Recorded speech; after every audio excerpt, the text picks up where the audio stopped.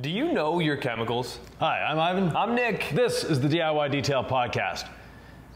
We're into detailing. Detailing is not just water anymore, there's chemicals involved. Water is a pretty powerful cleaner, actually. It actually is. It is a solvent. Uh, you know, when we think about the power of water, all we have to do is look at the Grand Canyon. It sort of carved that thing out just with water. There's no chemicals involved. Or look at your hood from water spots. Exactly. I mean, it's a combination of a lot going on, but we wanted to have a conversation about chemistry, chemicals, and just like what advice we have as detailers for the armchair chemists out there. Yeah. Some of whom have a lot of information at their disposal and can learn this stuff really good, and some of whom uh, are maybe a little bit out of their league. I would say myself included when it comes to uh, deciding that they know better than the chemist on how to use products. Right. So this is not a preachy thing. This is we know y'all are doing it out there. Yeah. I'm gonna combine my iron remover with my all-purpose cleaner with a little bit of tire shine for God knows what. Yeah, exactly. But people are like, I think I figured this out, right? Right. And that's not how the, the chemists put together car cleaning chemicals, do they? No, not at all. Now, one of the things that I wanted to touch on, a bit what Nick said there is don't be mixing without knowing what's in there. You could cause a very bad chemical reaction, and it may not be one that you're aware of, but down the road, it could be something that you mix chemical A with chemical B, it creates chemical C, and chemical C could be very nau- nauseous to your health. It could be cancerogen. Most things are. But, anyways, uh, we diverse there. But it could be damaging your paint without you knowing it. It could, at that moment, looking great, but eventually, it, that could be causing damage. Some people like to combine cleaners, like uh, all clean and incredible suds. And that, I mean, I'm not a chemist, but we've done that before on our videos. Like, that works. Right. And if we combine chemicals in videos like that, it's because we've done the research and we know we can combine them. So, in you know, one thing you mentioned incredible suds. Try mixing quick beads with it. You'll see what happens. You actually take the beading away. It actually changes the whole dynamic of both products. So, you know, that's something if you want to try it, you're going to have to live with the results. But one thing we all have at our disposition and you're listening to this, you're watching this, that means you have internet. The internet is an amazing tool, and you Google any chemical, you will take you generally to Wikipedia. In Wikipedia, free online resource, it is amazing the knowledge that's on there. And it's edited daily, so it's updated. And as chemicals change, those updates happen as well. But what Wikipedia can do is you take the SDS sheet, and for our SDS sheets, they're very available. Every box, every bottle has a QR code that takes you to a website. That website is DIYdetail.com.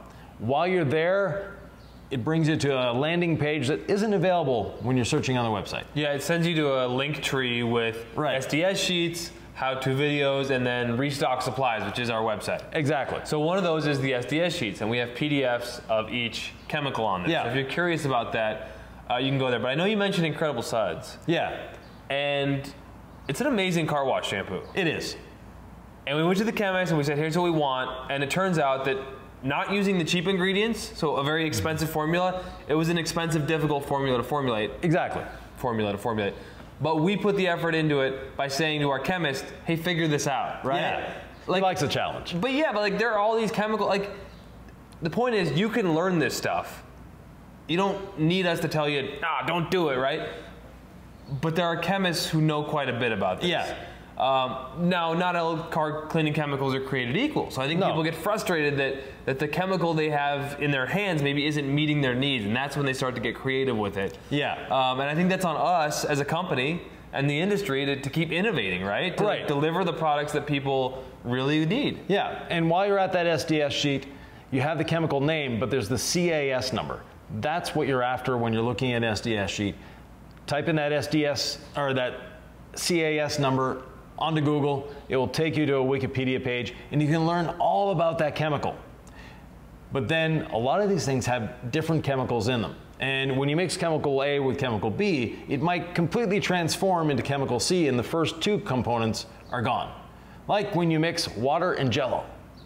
Well, you end up They're two, you know, you mixed a powder with a liquid and you end up with a gelatin.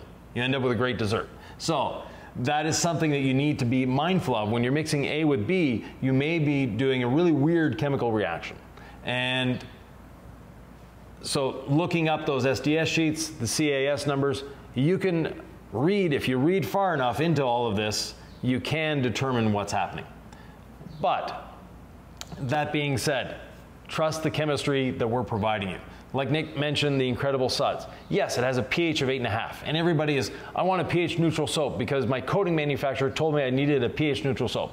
First of all, if you have a real ceramic coating on your car, you could use Incredibles or you could use All Clean as your daily cleaner. It wouldn't damage the, uh, the ceramic coating. Ceramic coatings are sold for the chemical resistance, and they're telling you you need a pH neutral soap. Someone didn't study their chemistry. Well, you mentioned All Clean. Right. And once we did water spot remover on a hood. Right. And uh, we did it without a ton of water. So we Right. were just addressing water spots for a test spot. Yeah. And we used the water spot remover. We sprayed some on. Yeah. And then we rubbed gently. I don't know if we had a wet towel or not. Uh, or, uh, rinseless dampened towel. rinseless dampened towel. But water spot remover is on the acidic side, so low pH. Right.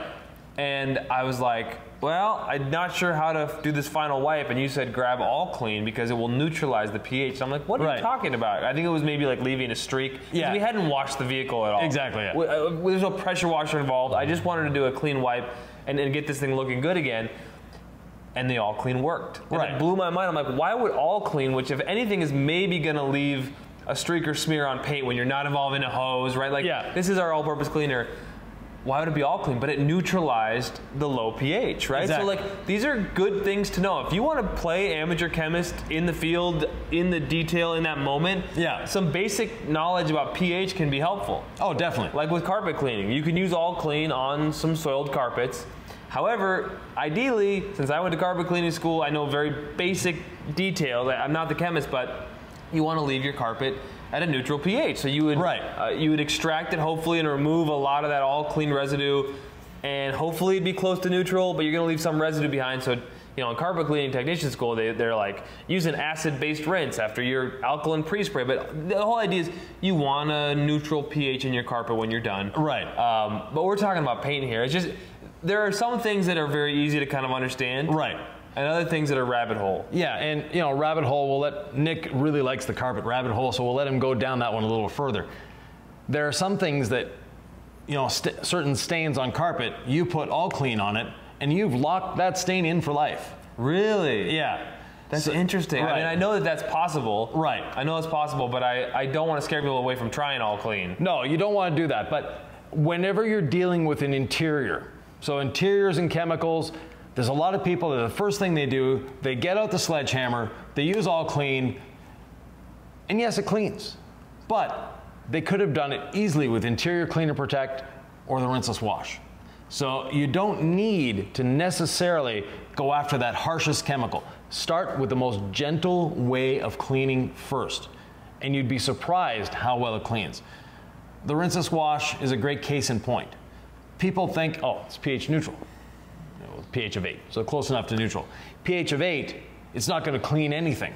Well, there are some surfactant based all purpose cleaners that have a pH of 13 out there that don't clean as well.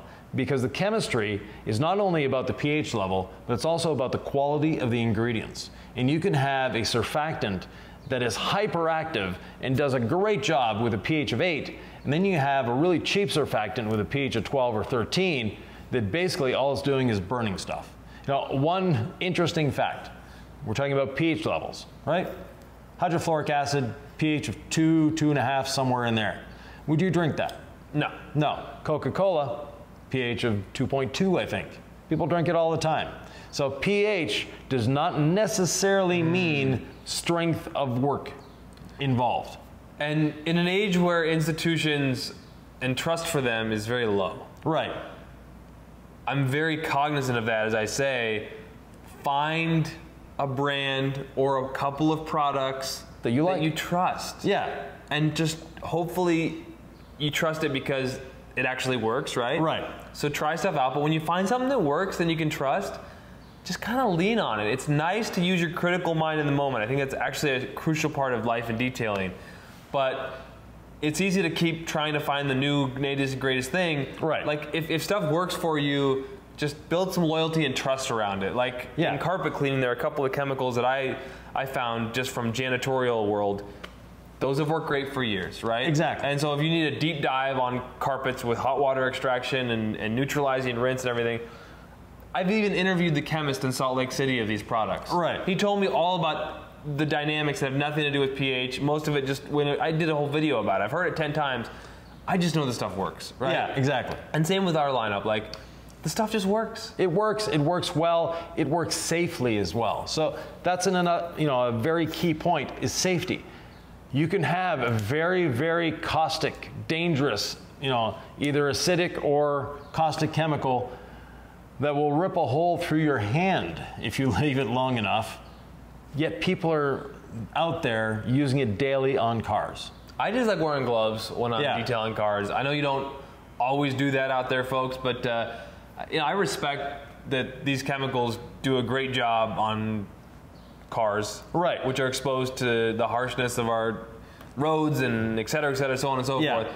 Um, in terms of chemistry, like what else do you hear people ask about that that isn't something we want to dismiss as like, oh, you're not a PhD chemist, you don't deserve to know that you think like generally people are curious about that you get questions about all the time that you think is worth talking about.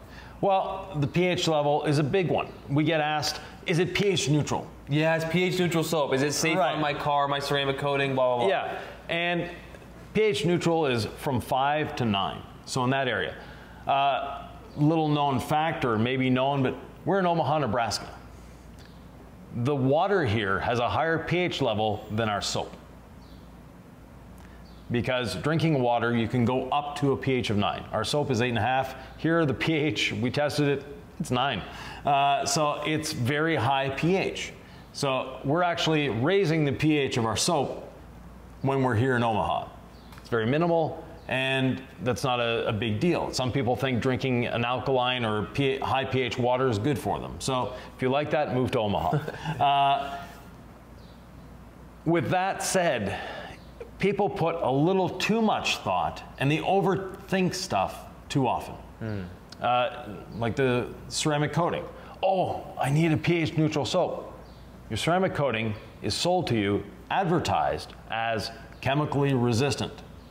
And then the company is telling, oh no, you need to use this special soap and you need to use this special thing and this special thing.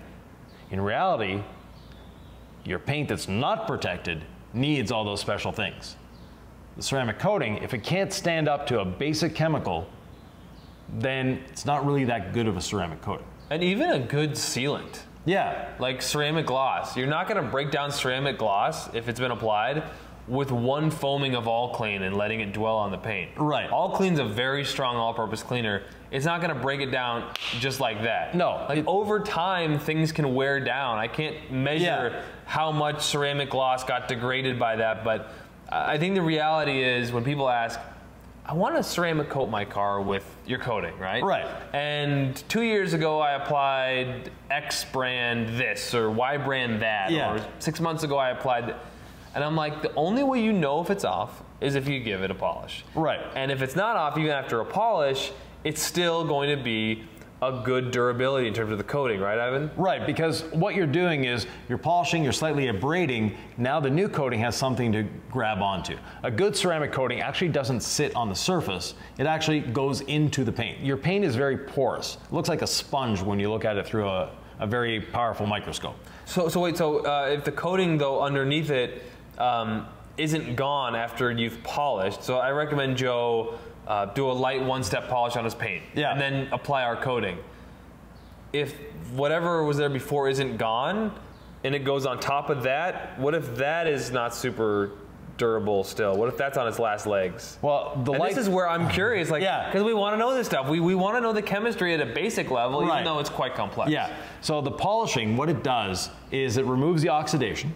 So anything that is a loose particle. So we've clayed it, we've done all that, but there's always a bit of oxidation. We've removed that oxidation just with a light polish. And we've also abraded the surface. To our eyes, when we polish, it looks like, wow, super smooth. In reality, when we're polishing, we're taking very, very fine abrasives and scoring the surface. That scoring is more than enough for the new coating to grab on, even if there's an existing coating there. Now, you try to put a coating over a coating without abrading it, without that polishing, and you may not get great results. And there's one other myth I'd like to dispel here, and it's something I read over and over and over again, is that dish soap removes waxes, sealants, ceramic coatings, you name it. Dish soap doesn't do any of that. Dish soap, if you listen to the commercials of most dish soaps, they have sheeting action. And that sheeting action is you've got that beautiful wine glass that you've taken out of your water, you rinse it off. You don't want water spots on it. So what happens? It sheets the water. It leaves the water on the surface in this sheet. And it's not sheeting like we like to see in detailing, where you put water in a large volume and low pressure, and all the water just goes off and it dries.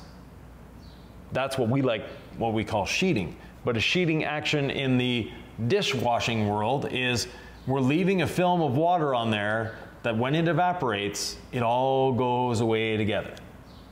And when you wash your car with a dish soap, which you shouldn't do anyways, it's not a great soap, it doesn't have a lot of lubrication.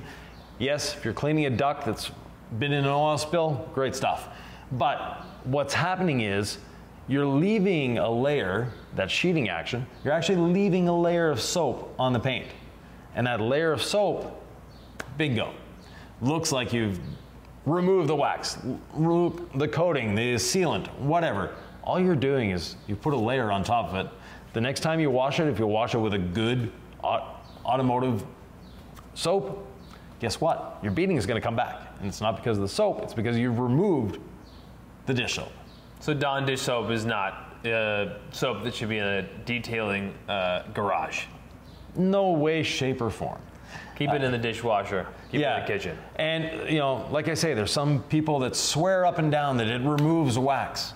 It doesn't remove anything. It actually leaves something behind which hides the effect of the wax. So chemistry, detailing, there's a lot more to unpack here. Yeah. But we've hired a chemist that we pay well. Yes. Who works on unique formulations for us. Uh, I know him. We've talked to him. We've worked with him. Like I trust yeah. this guy, and that's that's where I put my trust. And we hope, since this is our livelihood, that yeah. you then will trust us with the performance of the products that you've used so far. So let us know what questions you have uh, about our product line. Let us know if you have more questions for Yvan. Sometimes you're the perfect one to answer them, uh, but. I do my best as well. So with that, subscribe, hit the notification bell, and leave those questions below. And we'll see you in the next one.